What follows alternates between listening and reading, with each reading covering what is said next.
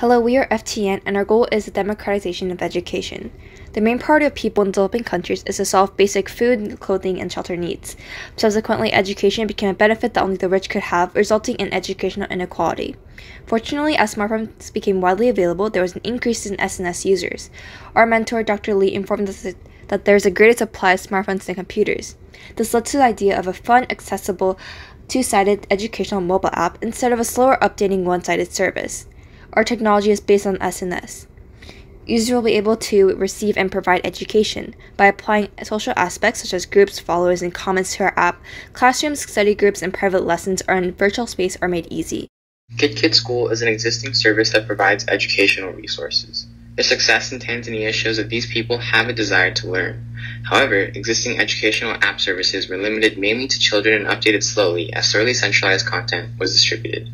A two-sided platform in Tanzania where locals participate in providing and receiving content and education is in need, and FTN will promote participation in the education of local people. There are three questions to consider when creating sustainable development. 1. Is this technology based on universality? 2. Will all users who use this solution feel the service is fair? 3.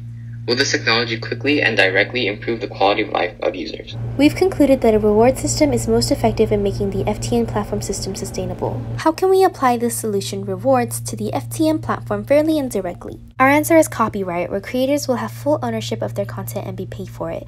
It will be possible to accurately implement not only rewards by action that have been used a lot in the past, but also rewards by content. As far as educational content goes, created content will be split and become new content frequently, so it is necessary to display ownership of the entire content as well as the original producer bit by bit. In other words, an implementation of a concept called micro copyright is required. A database system called blockchain is the first requirement to use micro-copyright. Our database is stored in a blockchain for secure data management, transparent transactions, and quick rewards. If someone modifies the data even a little, the hash value of all blocks will change, and it will be discovered by users in the platform who have the blockchain data. Creators' content transactions are recorded in a strong security system that can never be hacked. How can copyright be applied in a world where copies can be made with one click? The key is non-fungible tokens applied to user-created content, detailing the ownership of the work and serving as a digital certificate of authenticity. Because it is blockchain-based, no one can steal the work or change the ownership. Sharing ownership between multiple people is also transparent and easy. The core technology of FTN is an NFT and blockchain-based reward system using micro-copyright that is quick and fair and encourages interest from local developers. This is the localization that is another solution for sustainable development. FTN is already reaching out to Ether Empower and funding the hired developer. Thank you.